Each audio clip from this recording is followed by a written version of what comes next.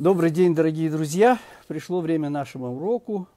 И, как всегда, в начале э, просто несколько секунд для того, чтобы убедиться, что интернет э, действительно работает. А, ну, пока это все проверяется, скорее всего, сейчас будет отключение и снова подсоединение. Так оно идет. Так меня приучил интернет. А, ну, по крайней мере, я могу уже начинать даст Бог, появятся люди. А, о чем я хочу сегодня с вами поговорить. Как всегда, э, вот появились первые люди, помахали, посмотрели. Значит, э, здравствуйте, Саша. Если что-то вот непонятно и, и как-то так вот не видно, вы мне, вот Влад появился, э, вы мне скажите, если не видно, не слышно или еще что-то. Всем привет, всем, кто подсоединяется к нам, привет. Еще сейчас люди появятся, но я пока, пока, пока начну говорить. А, тему, а, на которую я хочу с вами поговорить, мне подсказала моя, наша недельная глава. А в эту субботу мы будем с вами читать в Израиле, в Израиле. Глава, она называется Балак. Есть еще отставание, потому что в, вне Израиля будет еще Хукат – но уже на следующий раз мы вот как-то так соединимся вместе. Видимо, вне Израиля у нас будет Пинхас, а там будет сразу две главы Пинхас. Или, ну, в общем, где-то скоро мы соединимся. Надо посмотреть, когда скоро мы соединимся. Но, по крайней мере, в Израиле в эту неделю мы читаем главу Балак. А, глава очень интересная. И э, главным образом она интересна тем, что она рассказывает, собственно, не совсем о Балаке. Балак это был царь, царь Муава. Сам по себе он был из Медьян, но он был царь э, Моава. А рассказывает о Биламе. Билам был такой человек, очень важный, Билам. А, в Таре, в самом конце Тары написано, что э, «И не было в Израиле пророка выше, чем Моше». И наши мудрецы тут же замечают, да, действительно, в Израиле пророка выше, чем Моше, не было. Но у народов мира был – и этот пророк Билам. То есть, по утверждению наших мудрецов, Билам был пророком высочайшего уровня, примерно такого же уровня, как Муше. И он был не из еврейского народа, он был из других народов. Надо вам сказать, что э, он был родом из тех же мест, э, от, откуда родом а, Авраам, да? где-то оттуда, из Месопотамии, недалеко от Урказдима, откуда э, пришел Авраам, оттуда вот родом и э, Билам. И вот, пользуясь тем, что рассказано в нашей главе о Биламе, я э, хочу поговорить с вами об очень интересном и достаточно актуальном явлении на сегодняшний день, то, что называется э, дурной глаз. На иврите это עין הרע, עין רע, עין רע. А почему я вдруг решил э, заговорить об עין רע и как это связано с Биламом, тоже непонятно. Нет, на самом деле все понятно. Дело в том, что есть такая замечательная книжка, всем советую ее время от времени почитывать. Она называется «Поучение отцов». Перкея вот. Вот я ее взял в руки, Перкея вот. Э, там всего лишь есть шесть глав и очень всякие умные, достаточно умные изречения. И даже вот э, э в Икра преподавали эту книжку. Перкея вот. Там есть всевозможные мишнайот. Мишнайот – это вот а, отрывки, которые нам рассказывают, как нам жить в этом мире. И вот там есть в пятой главе, пятая глава, 19 Мишна, там есть как раз то, о чем я говорю. Вот я вам это все переведу сейчас. Сказано так в этой Мишне. Каждый, у которого есть в руке его три качества этих, я дословно перевожу, они считаются из учеников Авраама, нашего праотца. А, и эти три качества, какие они? А если их нет, этих трех качеств, то они считаются учениками Билама. Значит, если есть некие три качества в человеке, он ученик Авраама. Если их нет, этих трех качеств, он ученик Билама. Вот сейчас вы узнаете, чьи вы ученики. Сказано так, какие три качества должны быть у человека, чтобы он назывался учеником Авраама? И они перечисляют. Айн хороший глаз, Руах немуха, а, дух, я буквально перевожу, дух низкий, нефеш шфила, душа э, приземленная, так скажем. Шфила – это вот такая равнина на, на иврите. И если ты, вот если ты имеешь три эти качества, ты из учеников Авраама. И если ты имеешь айнра, плохой глаз, и руах гвуа, и высокий вот этот вот дух, венефеш рахава, и душу широкую, ты относишься к ученикам Билама. Билама Гараша, Билама злодея. Именно то, что он был вот пророком, он вот называется злодеем.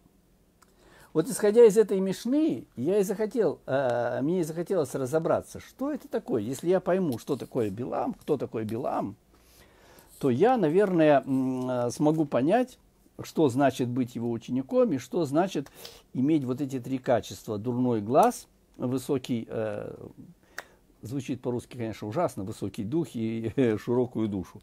Я поясню, что, и, что имеется в виду высокий дух и э, широкий. Руах – это часть души, которая отвечает за наше эмоциональное состояние. Руах связан, как правило, с сердцем человека. И если говорится, что руах гвуа, вот этот дух высокий, это значит, что эмоционально я очень возбудим, я люблю покричать, я а, люблю себя продемонстрировать. Это, на грани эгоизма, проявление эгоизма, когда вот я э, не сдерживаю себя в своих эмоциях и проявляю их вот так вот прямо. Да? Так вот это вот э, руах гвуа называется. И, и порой можно принять человека за сумасшедшего. То есть он в эмоциях себя не сдерживает. Вот как вот ему нравится, так он и проявляет. Нравится орать, орет. Э, нравится вот, вот э, кричать, кричит. Вот что ему нравится. А нефеш рехава, нефеш отвечает за, наше, э, за нашу животную часть жизни, биологическую часть жизни. Ведь э, наша душа, она имеет три части. Нешама – это вот голова, э, руах – это сердце, и нефеш – это э, печень, там, где кровь. Так вот, э, нефеш связан с нашим э, биологическим существованием. Если нефеш, говорится, нефеш рехава, широкая вот так вот, вот э, душа животное, то а значит мы стремимся свою физическую, биологическую жизнь насытить, то есть получать э, жизненные удовольствия. Вот это значит нефеш рехава, то есть поесть вкусно, получить удовольствие, независимо от того, насколько это там, этично, неэтично, не важно. Важно то, что я э, кайфую. Вот это называется нефеш рахава. Значит, нефеш рахава – это вот сластолюбие, такой гедонизм, Э, Руах гвуа – это неумение сдерживать свои эмоции. А айнра – дурной глаз. Вот это вот надо разобраться. Что такое айнра и э, почему он связан именно с Биламом? Именно с Биламом. Когда мы читаем про Билама, то мы видим интересную вещь. Билам во всем пытается подражать Аврааму. Вот известная история с Авраамом. Авраам, э, когда ему было приказано вот это вот э, вознести своего сына Ицхака, написано, и, и встрепенулся он утром, и взнуздал э, своего осла, нагрузил его, и взял с собой учеников и Ицхака. То же самое делает, примерно то же самое, по крайней мере по форме, делает Билам. Он встает утром, он взнуздал, ну, не осла, правда, а ослицу, и он отправился, захватив вот двух молодых, которые являются его учениками. То есть э, стремление э, подражать Аврааму во всем видно, во всем видно, во всем видно. Поэтому, видимо, он и сравнивается э, с Авраамом даже не он сравнивается. Э, у меня возник вопрос, а почему, собственно, не сравнить а, Билама и Авраама? Почему мы сравниваем учеников Авраама и учеников Билама? Э, и ответ, мне кажется, очень интересен. А, дело в том, что если поставить рядом Билама и Авраама, а, простой человек не смог бы отличить, кто из них праведник, а кто из них злодей. Они очень похожи. Они и внешне очень похожи, и по поведению очень похожи. То есть, если вы хотите узнать человека, ну, его идеологию, его учение, надо смотреть на его учеников. Потому что ученики, они уже не похожи внешне на своих учителей, и они более явно э, выражают те недостатки, которые были у учителей. Когда мы говорим, допустим, о двух школах, школа Гилеля и, и, и э, у нас были две такие вот э, великие там школы, которые занимались э, и, Аллахой, Аллахой, да, э, то мы сравниваем на самом деле не, сами, не самих вот, основателей этой школы, да, а мы сравниваем и, и их учеников. И поэтому э, здесь, видимо, тоже наш, наши мудрецы говорят об учениках, не, не о самих вот, э, не о самих основателях школы, то есть не, не, не сравнивают Авраама и сравнивают э, учеников Белама и учеников. Таким образом, э, мы хотим разузнать, в чем суть Билама, чтобы понять вот это качество Айн-Ара, откуда это берется. Все начинается с того, что царь Балаак, испугавшись э, надвигающейся на него угрозу, он видит в еврейском народе угрозу и понимает, что он не может с ней справиться, он отправляет посланников э, к Биламу, к известному пророку Биламу, и просит его прийти и проклясть, э, наложить проклятие на еврейский народ, проклясть еврейский народ. И он ему говорит, передает через вот этих посланников, что у тебя известная репутация, и известно, что кого ты благословляешь, будет благословлен, а кого ты проклинаешь, будет проклят. Поэтому, пожалуйста, приди и э, прокляни. И тогда я уже смогу победить еврейский народ, ну а тебя я, естественно, э, по достоинству награжу. Вот это они ему говорят, но Билам, как пророк, понимает, что он действует не от себя, он должен и спросить разрешение у своего босса. А, поэтому он просит их остаться на ночь и говорит, «Э, вы переночуйте, я вот ночью у меня будет рандеву, и я узнаю, да или нет. Они остаются на ночь, случается эта ночь, действительно, Всевышний к нему обращается и спрашивает, кто эти люди, зачем они пришли. А Билам подробно все рассказывает и говорит, зачем они пришли. Какой ответ получает Билам? Он получает очень интересный ответ. Прямо здесь э, так и написано. Написано, что э, «И сказал Всевышний Биламу, не ходи с ними, не проклинай народ, потому что он благословлен. Ки варух гу, потому что благословлен он на этом народе лежит благословение. Не ходи с ними. Ответ понятен, да? Абсолютно понятен. То есть все, ничего нельзя сделать. Ты не можешь проклясть, потому что на нем есть благословение. Как убрать благословение? Оно есть на нем.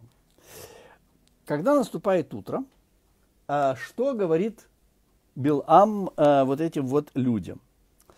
Он говорит им несколько другое. А он говорит так, значит, э, э, и встал утром э, Билам и сказал вот этим вот посланникам Балака, идите себе в свою землю, потому что Меэнашем летити лалехет иммахем, потому что не разрешил мне Всевышний идти с вами. Он не сказал, почему не разрешил. Он не сказал, что невозможно. Он сказал, не разрешил мне идти с вами. И вот когда они возвращаются и говорят это царю Балаку, он сказал, что ему с нами нельзя идти. Как истолковывает это Балак? Ага, с ними нельзя, наверное, нужно послать более уважаемых людей. То есть повысить оплату. И да, он посылает более уважаемых людей. Видите, э, Билам отвечает так, что вроде бы как он верно ответил. Но этот ответ, он трактуется. И когда приходят следующие люди, конечно же, Билам их не прогоняет. И он понимает, что ставки повысились. И тогда он следующую ночь еще раз оставляет их ночевать и еще раз обращается ко Всевышнему. И Всевышний тогда ему говорит, ладно, иди, иди, но будешь делать и говорить только то, что я тебе скажу. Только то, что я тебе скажу. И вот тогда он встал утром, встрепенулся, взнуздал свою ослицу, пошел вместе с ними, взял еще двух молодых. Тогда начинается вот это интересное представление, когда вдруг ангел смерти с мечом становится на пути этой ослицы, и ослица там трижды шарахается туда-сюда, и, э, не, не, не может пройти, и, и Билам начинает ее палкой бить. И тогда уста, уста ослицы открываются, и вот начинается знаменитый диалог между э, ослицей и Биламом. Причем Билам совершенно вот э, нормально воспринимает, что ослица с ним разговаривает. И вдруг ему открывается, что действительно ангел смерти стоит у него на пути, и, конечно же, он понимает, что ужас какой-то. И говорит, я, извини, я не видел. Я не видел этого ангела смерти. У меня вопрос. Почему э, ослица видит, а Билам не видит? Тогда вопрос, а почему вообще был послан ангел? Если Всевышний ему разрешил, сказал, иди. Почему он ему посылает ангела смерти? И там написано, встал и пошел, и, и, и э, разгневался Всевышний написано. На что? Если ты ему разрешил идти, да, но ты ему разрешил идти, сказал, ты будешь говорить то, что я тебе скажу. А зачем пошел Билам? Конечно же, за тем, чтобы сделать то, что хотел, то, что намеревался сделать. То есть он намеревался проклясть. И он шел с этим. И, конечно, э, для Всевышнего не было тайной, зачем Билам отправляется с этими людьми туда. Он не идет сказать то, что говорит Всевышний. Он желает проклясть, он желает заработать. И Всевышний это видит, тогда возникает ангел смерти. И вопрос, почему ослица видит ангела смерти, а Билам не видит ангела смерти. Потому что ослица, ответ очень прост. Ослица видит то, на что она смотрит. Вот она смотрит перед собой, и она видит то, что там есть. Билам не видит, что перед ним. Белам видит то, что он хочет увидеть. То есть он сейчас загружен определенной идеей, в нем есть идея, он эту идею желает реализовать, и он по существу видит то, что у него в голове. Он видит те желания, которые в нем есть. Поэтому он не видит явного мира. Он не видит реального мира. Он видит свои намерения в этом мире. А намерения эти связаны, конечно же, не с ангелом смерти, а с тем, что он должен сделать. Поэтому пока у него откроются глаза, должна действительно наступить опасность. Там ослица должна его прижать э, к стенке, он должен там почувствовать боль, нога заболела, я не знаю, чуть ли не свалиться с этой ослицы. И тогда он вдруг начинает видеть то, что он видит. А далее рассказ очень прост. Когда он прибывает к Балаку, а, он просит его построить семь жертвенников – возносит семь жертв и пытается, вот глядя на, с определенной горы, с определенного места, на лагерь еврейского народа, он пытается это проклясть. И там есть одно очень интересное выражение, мы просто дальше рассуждаем, дальше, дальше. А, имеется в виду, вот я сейчас читаю 24 а, глава, первый стих. Значит, Бамидбар, 24, стих 1. Там написано следующее – А, да, да. И написано, значит, э, Вияр Билам и, и, и увидел Билам, что э, хорошо в глаза Всевышнего, благословлять Израиль. И он не пошел, как прежде,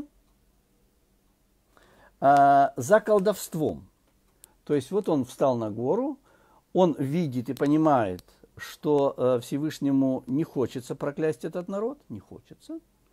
И тогда Билам не стал заниматься тем колдовством, которым пытался заняться до этого. А что он сделал? Он говорит так. Ваиса Билам эт Эйнаф. И вознес Билам свои глаза – вот когда вам скажут фразу, скажут так, давайте так, я вам скажу. И вознес он свои глаза. Продолжите мысль. Что вы дальше скажете? Что значит человек вознес свои глаза? Именно не, не поднял глаза вверх, да, не посмотрел вверх, а вознес свои глаза вверх. Я думаю, что если вы подумаете секунду над тем, как вы продолжите эту фразу, то, наверное, будет звучать примерно так, что э, и вознес э, человек глаза, дабы узреть, я не знаю, что, что-то, что выше этого мира, узреть что-то духовное. Потому что вознести глаза – это всегда связано с духовным подъемом. И вот написано, что вознес Белам глаза. Зачем? И Раши тут же нам интересно, интересно это комментирует. Значит, и вознес Белам глаза. Зачем? А, просил э, э, внедрить в них дурное начало. Просил внедрить в них дурное начало. То есть Раши поднимает, возносит, э, Раши говорит, что Билам возносит глаза и обращается, видимо, ко Всевышнему с тем, чтобы он в эти глаза – внес дурное начало, посредством которого Билам сможет действовать.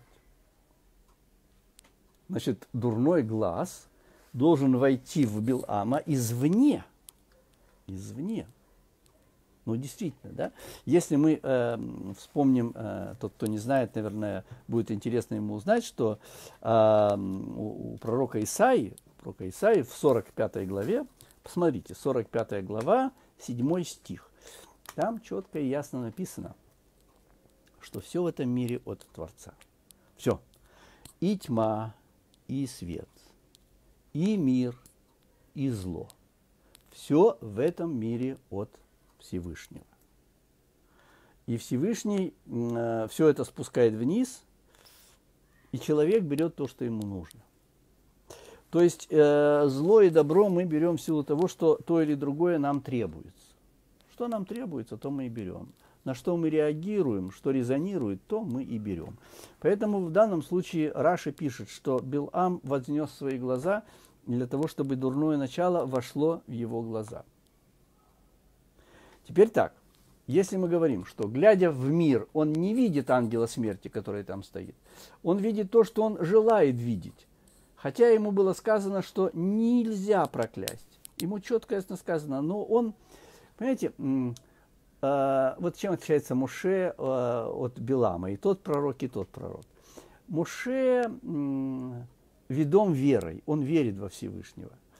А Билам, он, он знает, что он зависит от Всевышнего. Это большая разница. Или человек верит во что-то, или он понимает, что он от этого зависит. Билам понимает, что он от Всевышнего зависит. Но он всячески пытается эту зависимость каким-то образом обогнуть тихонечко, как-то так обойти, чтобы тот там, использовать для, для своей нужды. А, потому что у него есть другие намерения.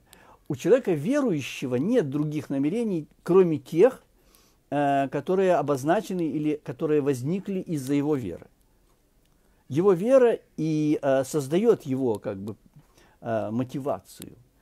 Если же я от кого-то завишу, то моя мотивация может различаться с мотивацией того, от кого я завишу. И поэтому я пытаюсь, согласно своей мотивации, искать обходные пути. Так вот, вот Билам как раз он зависит от Всевышнего, а Моше он верит во Всевышнего.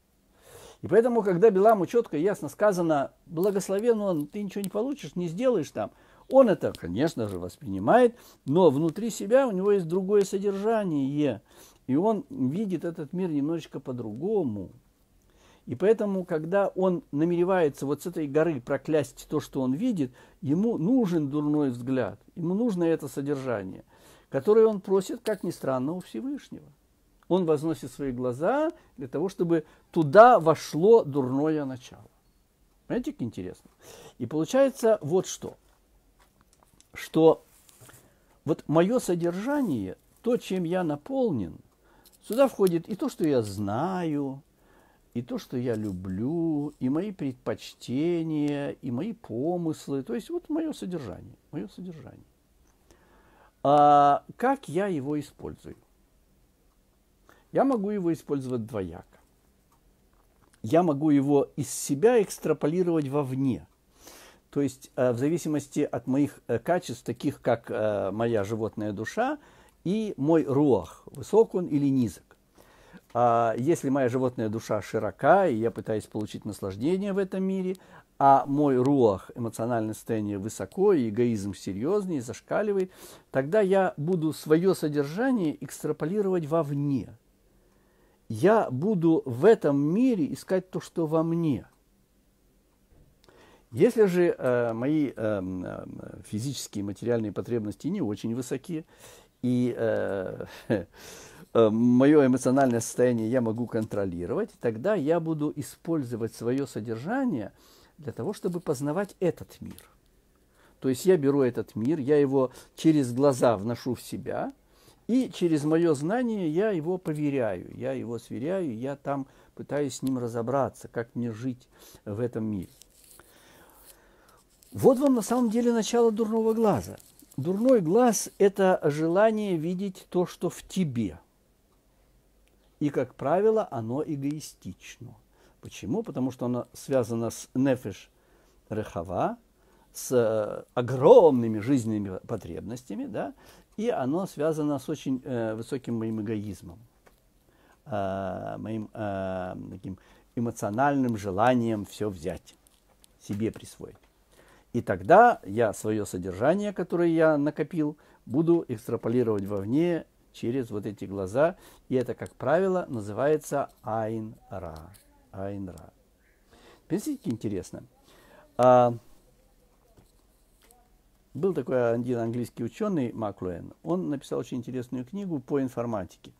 И он утверждает, что а, революции в мире происходят э, не потому, что класс меняет класс, а потому, что меняется способ э, накопления, хранения и передачи информации. То есть э, он так рассматривает периоды. Периоды, когда человек видел, слышал, общался друг с другом.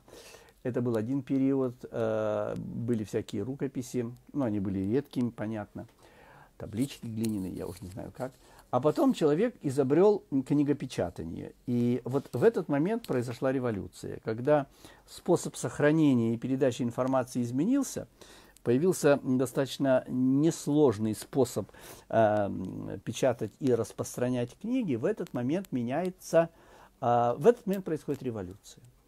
Э, и тогда, если продолжить эту мысль, то следующая революция происходит вот э, в момент э, цифровых технологий, когда у нас появляются вот цифровые технологии, и мы начинаем, научаемся, да, определенным образом сохранять информацию и передавать информацию.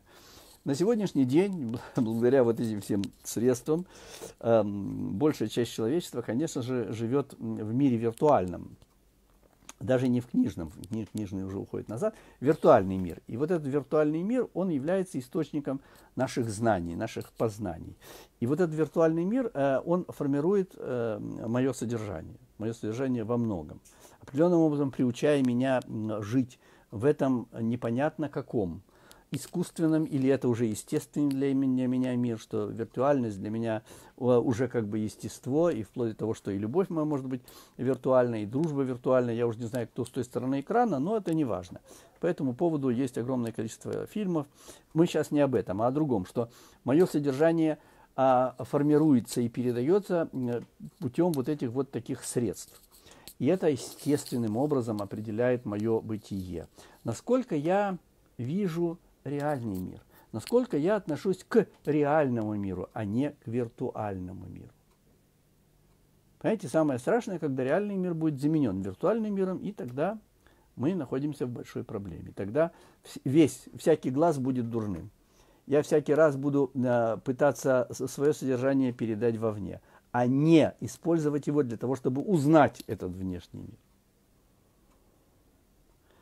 Э, это Мишна, о которой мы с вами говорили. Имеется в виду Перкея Вот, 5 э, глава, 19 Мишна. Там она заканчивается следующим образом. Значит, там э, перечисляются качества учеников Моше и качества учеников Билама. Что они унаследуют? Значит, ученики Моше заслуга, э, да, ученики Авраама, мы говорим ученики Авраама и ученики Билаба. Так вот, ученики Авраама, которые хорошим глазом и прочее, все, они что будут делать? Они, э, написано так, и едят они в этом мире, и будут есть они в этом мире.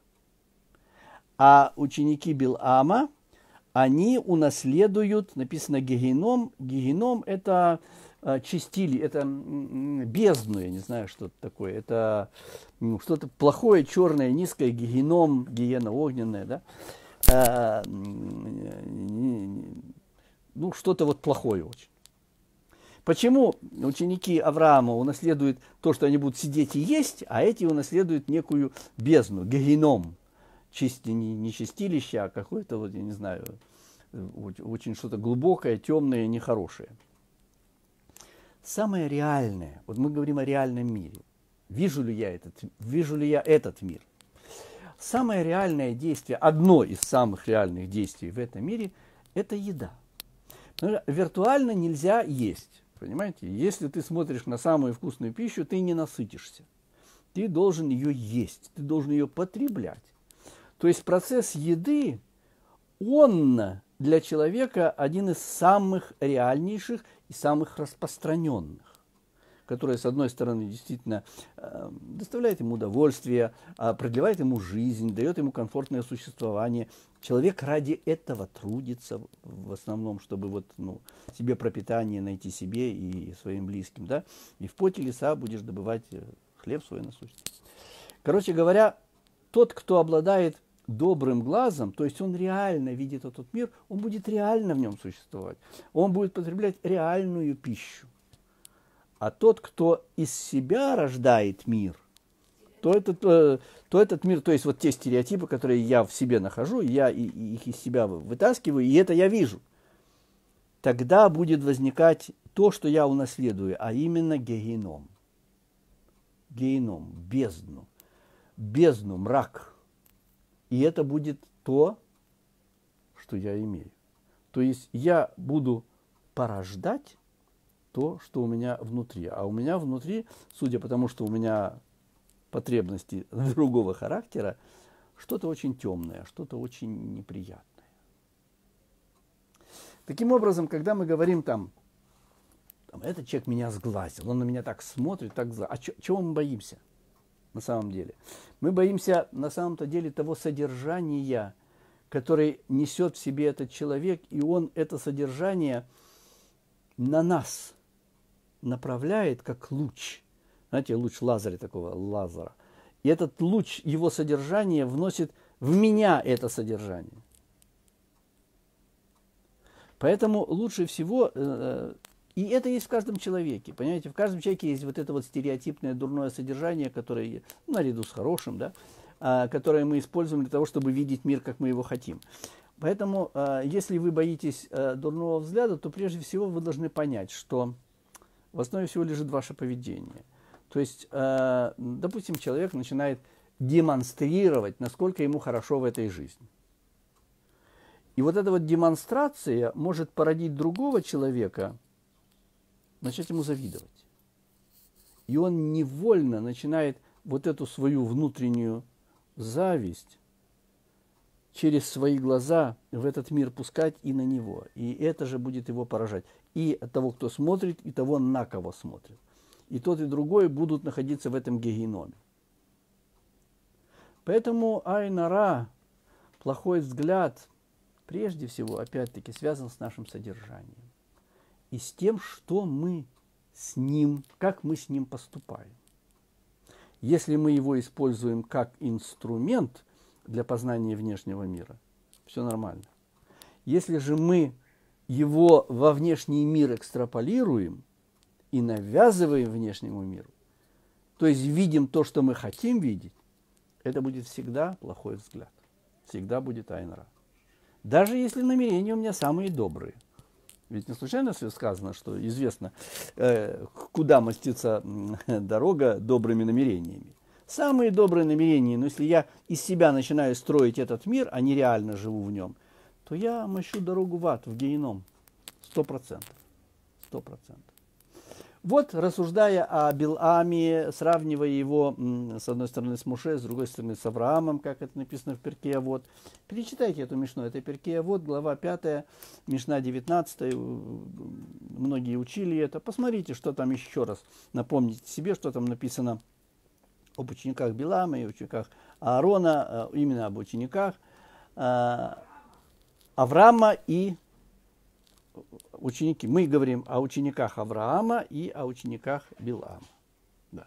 Хотя наши мудрецы сравнивают пророчество Моше и пророчество Билама. Вот не, не путайте здесь. А, вот я об этом с вами поговорил. Это вот то, что я хотел вам сказать. Сейчас я посмотрю, может быть, есть какие-то вопросы а, ко мне. А, вот в основном люди здороваются. Здравствуйте, здравствуйте. Шалом, шалом. Добрый день. Цураем Тувим. Шалом всем. Добрый день. Видно и слышно хорошо. Это радует. Сегодня интернет радует. Так, так. Добрый день, добрый день, добрый день, добрый день. Всем добрый день. Вот видите, все делятся своими самыми лучшими пожеланиями. Караганда. Вот из Караганды. Ой, как это далеко. Ё. А -а -а.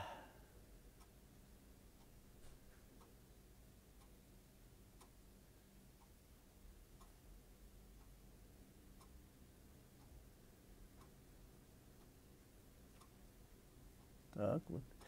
Здесь, значит, э, спасибо. Этих тонкостей я не понимаю. Как прекрасно, что нас, наш совершенный э, Всевышний все может обратить во благо. Да будет ему слава. Да. Э, дело в том, что не, не, я думаю так, что дело в том, что он все во благо обращает. А он спускает только благо, другого нет. Другое дело, что мы с этим благом делаем. В конце концов, э, человек э, волен принимать решения.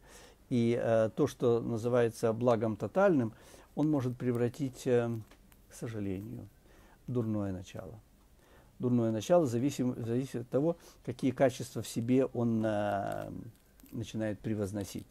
Вот эти вот два качества, о которых мы говорили, да, э, нефеш рехава, вот это вот огромные э, потребности э, биологическо-физические и э, э, вот, алчность или вот э, возвышенность, возвышенный эгоизм, к сожалению, самые добрые начала Всевышнего обратит э, в недобрые.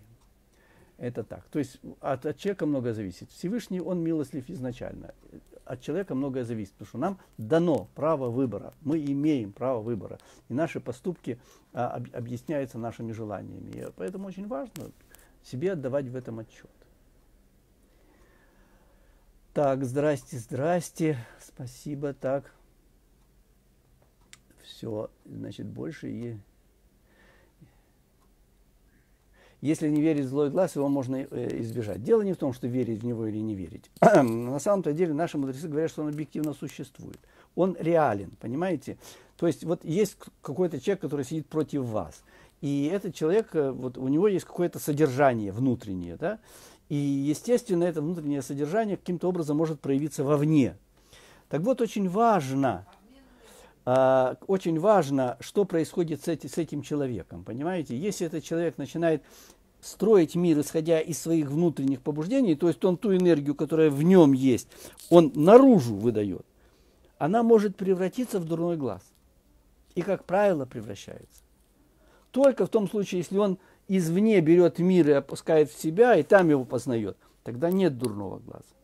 Поэтому даже если я не верю в дурной глаз, я могу не верить там, я не знаю, в молнию, но эта молния в меня может попасть. Дурной глаз, он объективно существует. Это же название, в конце концов, да? Дурной глаз – это название. Глаз, который воспринимает мир и, и оттуда сюда, он добрый. А если он из себя вовне, он будет дурной. Вот в чем дело. Вот в чем дело.